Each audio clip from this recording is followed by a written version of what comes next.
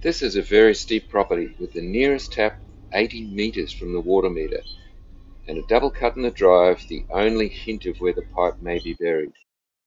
So does the pipe go up through the steep garden, up towards the house, or does it go up the long driveway, wind its way around there?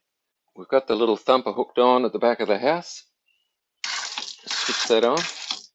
Now you'll be able to hear what I can hear through the headset with these buds. So let's have a listen. We're up the top of the bank and uh, we're about in line with where the cut in the concrete was. So let's have a bit of a listen and see if we can hear the thump.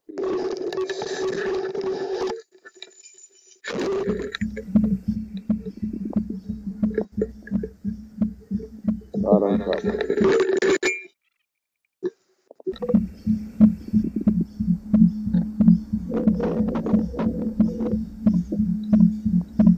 You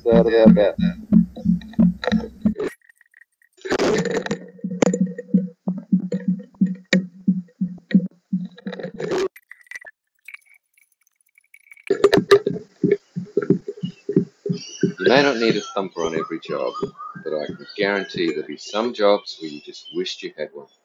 Why not click on the link in our bio and check out some more information on these great little Aussie made thumpers?